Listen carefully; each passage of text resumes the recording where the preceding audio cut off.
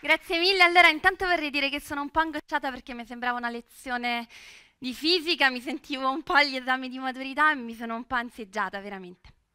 Un sacco, quindi mi devo un attimo calmare. Allora, ciao a tutti, buonasera, grazie per avermi invitato, la Puglia è stupenda, non me l'aspettavo così.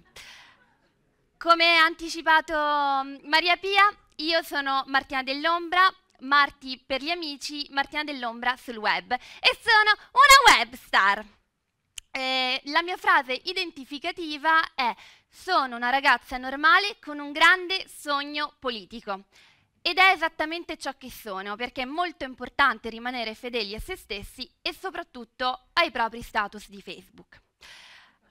Io vivo a Roma, eh, fortunatamente a Roma Nord, che è quel posto creato per far stare i romani ricchi e benestanti al sicuro, riparati dalla zona più periferica di Roma Sud, dove ci stanno delle persone estremamente pericolose e fastidiose come rom, eh, immigrati e giornalisti freelance. Qualcuno c'è anche qui.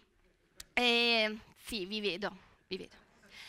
Uh, vivevo con i miei genitori fino ad un anno fa in una bellissima villa con piscina con loro e con il mio cane Copen, che è un barboncino nano che eh, in quanto barboncino nano è molto riccio ed è molto nero, quindi io lo pettino tutti i giorni strappandogli questi capelli, diciamo eh, lisciandolo, perché negro e riccio fa molto povero, quindi non è il caso di tenerlo così.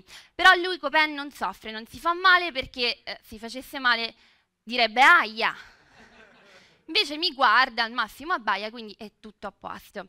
E invece da un annetto sono andata a vivere da sola in un attico di 180 metri quadrati che mi ha comprato papà, perché è molto importante diventare indipendenti. Il mio sogno più grande nella vita è quello di diventare una persona importante, prestigiosa e riconosciuta. È per questo che ho deciso di diventare una politica. Perché i politici sono i nuovi VIP. Questo è assolutamente innegabile. Faccio un esempio. Maria Elena Boschi è chiaramente una nuova Belen. Un po' più abbondante.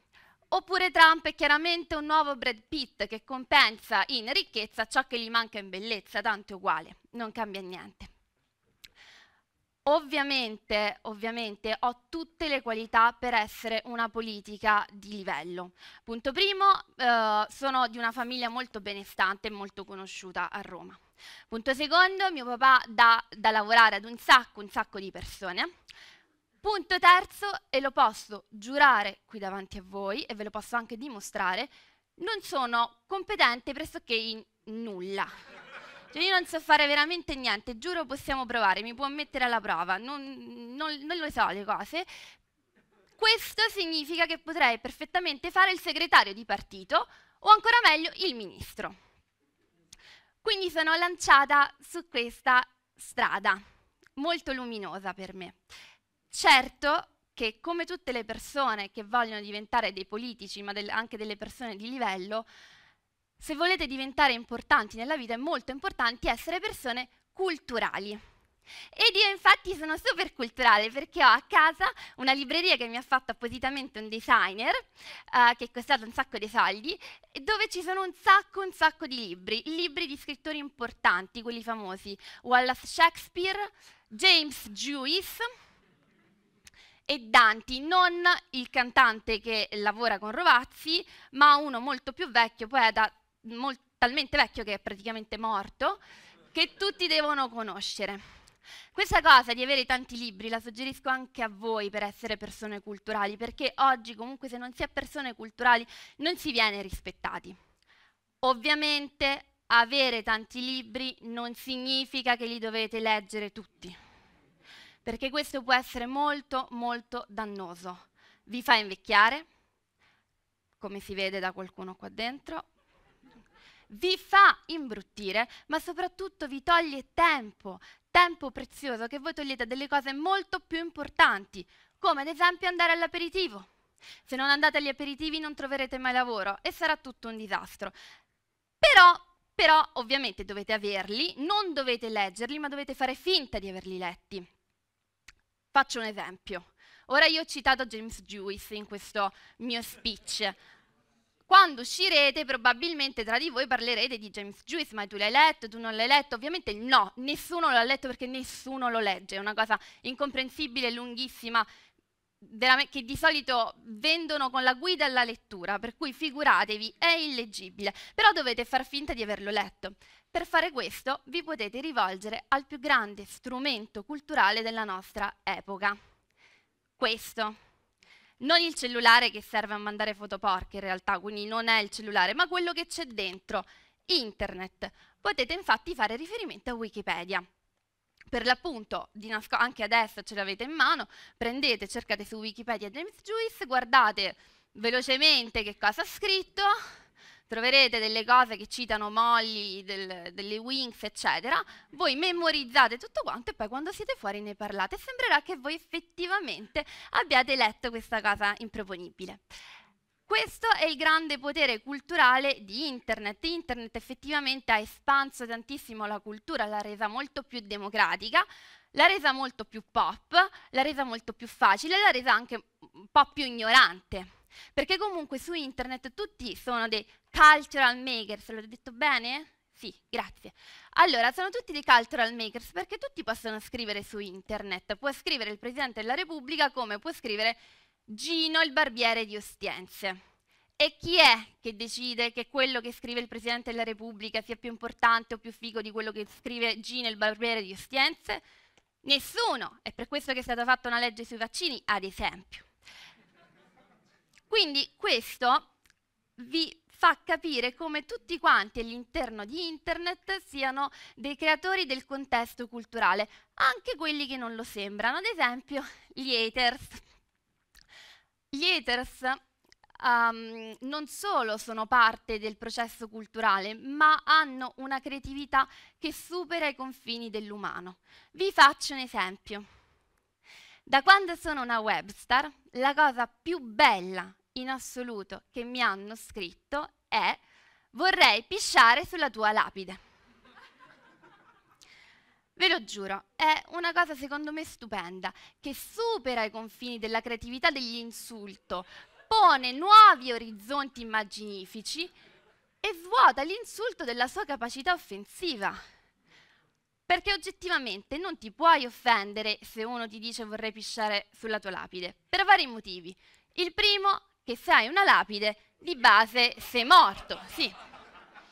O sei uno zombie, ma non è una cosa positiva, quindi sei morto di base. Sarebbe peggio, diciamo, se ti pisciassero in faccia mentre stai prendendo la brioche al bar oppure mentre ti pieghi a raccogliere i 50 euro che ti sono caduti dalla giacca uno ti piscia in faccia, non è bello. Quello sarebbe molto offensivo. Punto secondo è una persona che frequenta i cimiteri. Quindi, ragionandoci, o è un mormone e quindi vive in una casetta di legno nel suo villaggio e vicino c'è un cimitero che lui può andare regolarmente a frequentare, oppure è un becchino. Oppure, una terza opzione, è un elettore della Lega. Perché? Perché gli elettori della Lega in realtà sono molto simili ai mormoni, ovvero sono nel 2017 come noi, ma vivono come se fossero nell'Ottocento non sopportano i negri, non sopportano i froci, non sopportano l'unità d'Italia e non sopportano la grammatica contemporanea per come l'abbiamo. Grazie.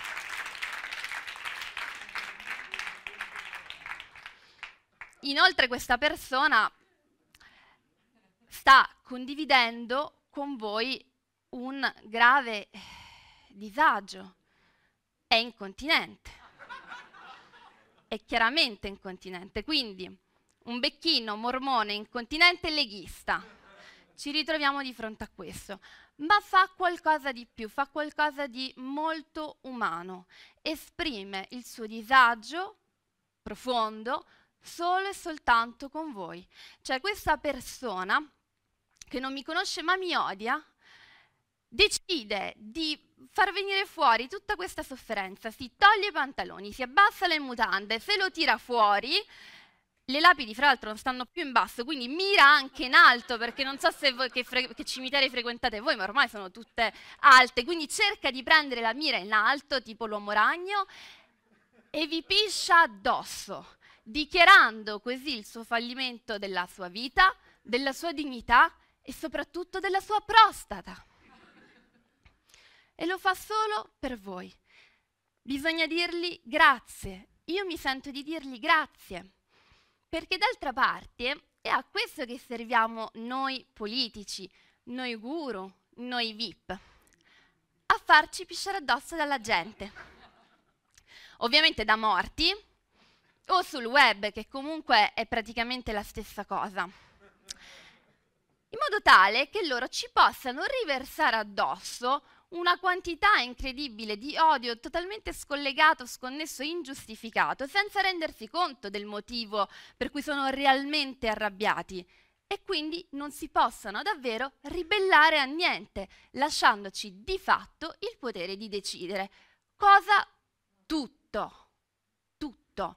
Come se noi, noi VIP, noi guru, noi politici, fossimo gli unici svegli in un paese completamente addormentato che sogna di pisciare sulle nostre lapidi, mentre noi, da svegli, costruiamo il mondo nel quale loro si sveglieranno l'indomani, senza chiedere il loro permesso né tantomeno la loro opinione.